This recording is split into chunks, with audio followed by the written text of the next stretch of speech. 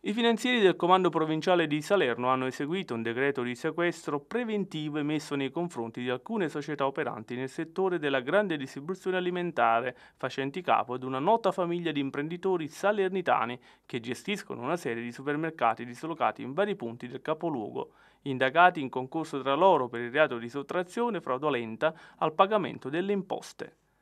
Il provvedimento è seguito a conclusione di una complessa indagine condotta dal gruppo della Guardia di Finanza di Salerno e diretto dalla Procura della Repubblica è stato emesso dal GIP del Tribunale di Salerno. Oltre al sequestro dei beni e delle attrezzature rinvenuti nei punti vendita per un valore di oltre 600.000 euro, nel corso delle attività sono stati pure individuati sei lavoratori in nero.